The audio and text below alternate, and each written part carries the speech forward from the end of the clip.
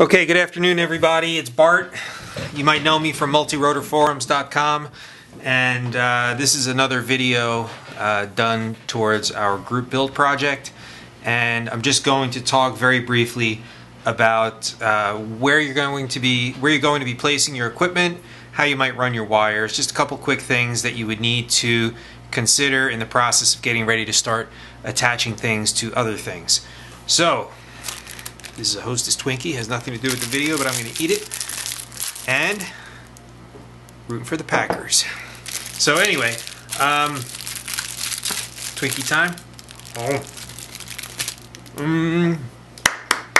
Good stuff. Anyway,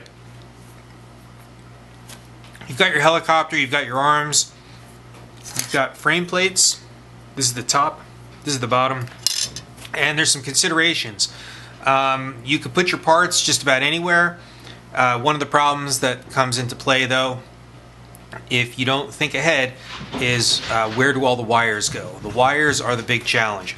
The pieces normally just fall into place, but the wires take some thought. You don't want wires rubbing it up against the edges. You know, you don't want wires coming like this and then wrapping tight around the frame because this from vibration will cut through the wires and then you'll have your shorts and that causes crashes. You also don't want wires to be pinched. That breaks the wire inside eventually.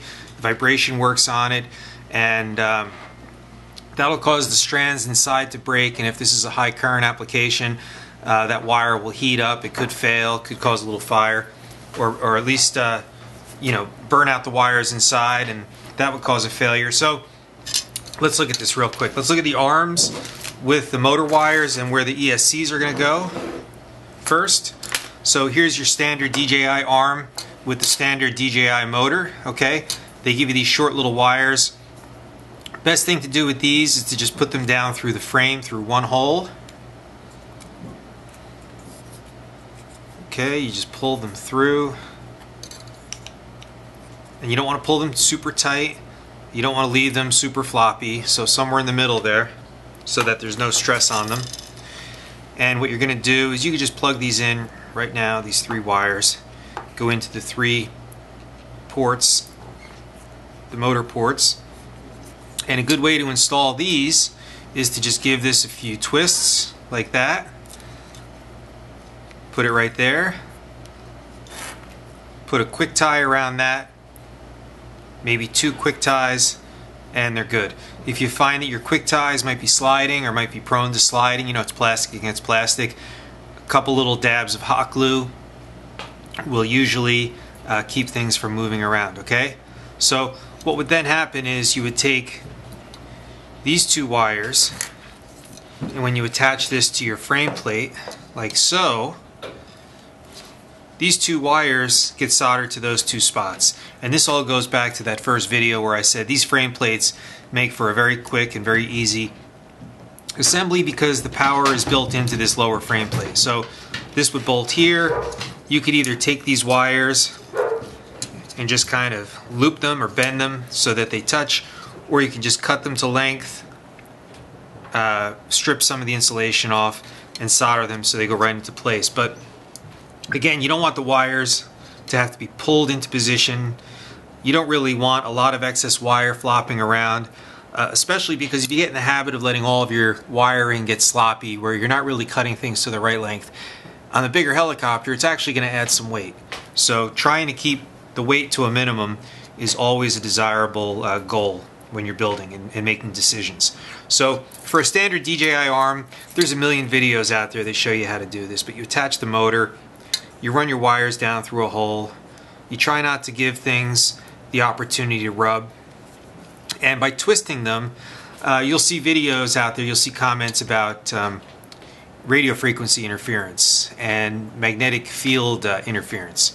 So what happens is when the power is running through the wires, they generate um, uh, RFI, radio frequency interference, or is it magnetic interference? But by twisting the wires together, I'm not an expert on electronics and all that stuff, but by twisting the wires together, it prevents them from creating that interference. So if you do this throughout the helicopter, if you twist the motor wires a little bit, if you twist the power wires a little bit.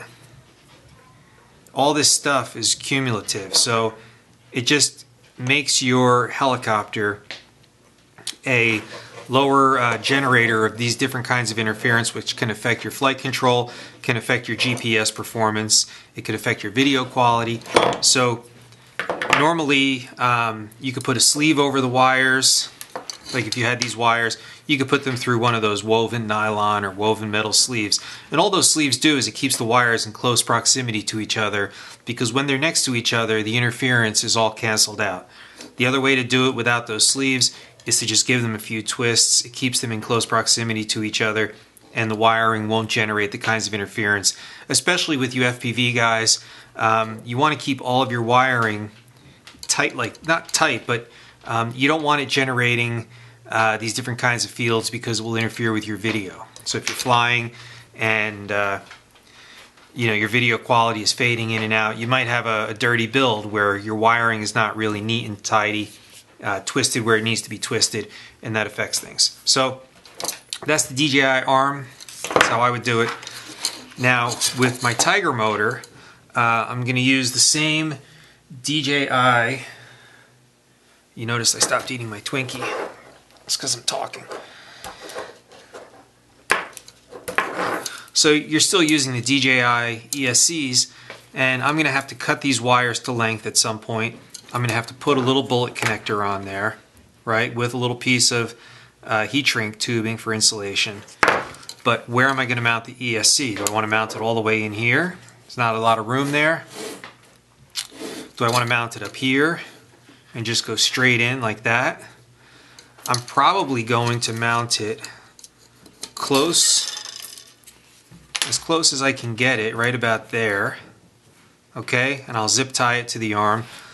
Um, a lot of times also, I didn't say this before, but you know, this is kind of a smooth, hard surface. This is a smooth, hard surface. So I'll probably put a little layer of some sort of foam in between those two.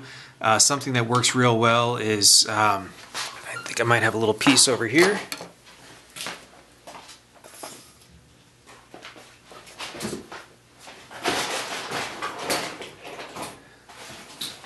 Something that works really well for that is this stuff. It's weather stripping foam.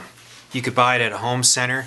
It's uh, adhesive on one side, but you just cut little pieces, you put it in between things, and it helps to keep things from moving around. It keeps the vibration from being transferred directly from one hard surface into another, um, and it's cheap. So that's good. But what I'll probably do is I'll probably put this in relatively close to the frame. I'll run my wires through that hole just like the other one, and then I'll twist these up and they'll go right into those three things. When you're connecting motor wires, put all three motor wires in, see which way your motor turns. If it's turning the opposite direction that you want, switching any two wires reverses the direction of the motor. It's super simple. It's a little, it's like a secret, I guess, when you first get into it, but second somebody tells it to you, it should stick in your head.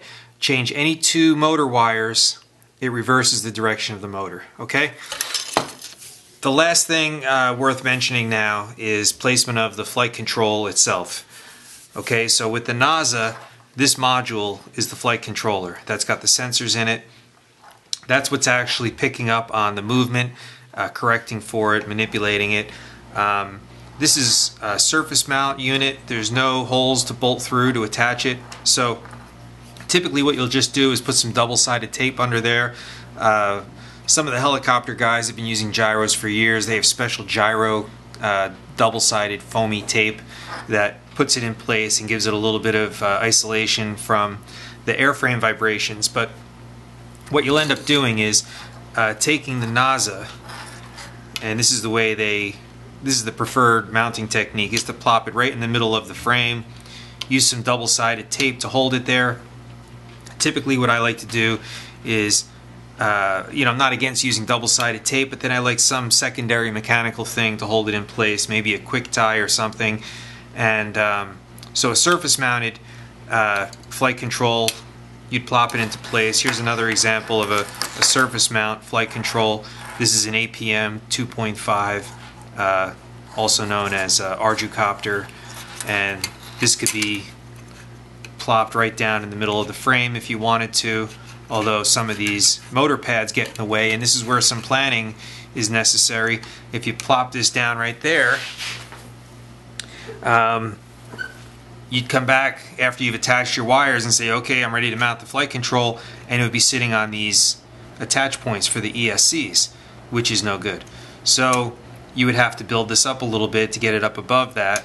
And actually, that's what I plan on doing with the Naza controller. I just have a little bit of blue foam, which is very lightweight, kind of soft if you poke it with your finger, but if you mash down on it with the flight controller, it's actually very rigid. So I'm just going to put that underneath my flight controller to get it up off the board a little bit. I still have room for my wires to come out the front, my wires to go in the back. The frame plate will fit over the top of it. I'm only lifting it up about a 3 eighths of an inch.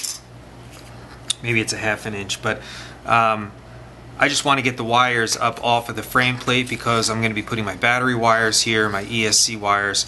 So I just want to lift it up a little bit. Um, but then somebody also mentioned they're going to use a KK2. KK is Captain, I guess it's Captain Kook. Uh, Kiuk, I'm not sure how he says it, but uh, this is a KK2. You get these from Hobby King. And if you're going to mount this, this is probably better off mounted on the top frame plate in which case you're going to have to drill some holes or make a little adapter or something, which is not totally out of the question. But um, again, when you look back at your wires, how are the wires going to get from these prongs or from these prongs uh, to your receiver? So here's your receiver, a bunch of wires. Where are you going to put the receiver? And how are the wires going to run? And putting a little bit of thought into this ahead of time uh, before you start assembling things, before you start cutting wires, um, putting a little bit of thought into this goes a long way towards making the build happen quickly, uh, happen successfully. If you don't put some thought ahead of time into some of these things, you know, don't sideline your build, don't spend six months planning your every wire, um, but just a little bit of thought ahead of time helps you to avoid snags later on, which could stop your build and cause you to have to completely take it apart and start over. Okay, so um, for this build, for the way I'm doing my F450 build, I have a little bit of foam I'm going to put on there with some, probably some latex or some epoxy or something. I'll center that. My NOS is going to go right there on top of it. Um, I'm going to have to figure out how to put a little something over the top of that to keep it in place, to keep it from vibrating loose. Okay? And then once I have my top frame plate in place, I'm going to have my receiver sit up on top like that. I'll have my GPS puck on one of these corners. And um, what I'm going to do is I'm going to have if you look at the lower frame plate you can see where that little piece of copper is um, mounted to the surface of the, the plate. So I'm going to scrape a little square and I'll show this in a later video but I'm going to scrape a little square bare right there a little bit bigger than these attach points. And on the bottom is the negative plate. You can kind of see it around the edges. Uh, I'm going to scratch a little square there and what I'm going to do is I'm going to have two wires, one like this, and the other one will be like that. So there'll be one set of wires coming over to this battery, one set coming over to this battery.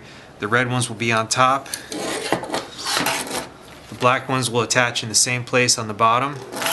And that's going to be where I attach my two batteries. I'm going to attach my VU connections. That's the versatile unit. I showed this earlier. I have a battery connection on there right now. I'm going to cut that. These are going to get soldered to these two pads. Okay, and this is power distribution that's built in. I'm taking advantage of it. So I'm going to put these two wires there, probably along with another set of wires for accessory type stuff. So I can pull that 4S power. I'm going to have one of those little red JST plugs uh, I might not even use it right away, but I'll have it there available if I want to hook up some lights later on, or if I need some power for like a little video transmitter or something. Um, and that's the way I'm going to do my build. I'm going to have two wires, top and bottom. Red's on top because the red is the positive. You can see the circle. You can see where the circle, the little branches come out to these solder pads. The negatives are not attached to the circle because they transfer up from the bottom. So the negative's on the bottom, the red is on top. I'm going to scratch a pad open right there. Two battery wires, VU to these two, and um, I think we're ready to start going. So I'm going to get started with the build. I'll post another video once I've got some stuff attached. And if you've been considering how you're going to get started, if you have the DJI ARF kit with these components, you could start attaching motors to your arms.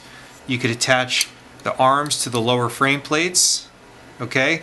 Um, you're going to be attaching uh, ESCs at some point, and a good way to do that will be figure out where this ESC is going to go, figure out the lengths of your wires.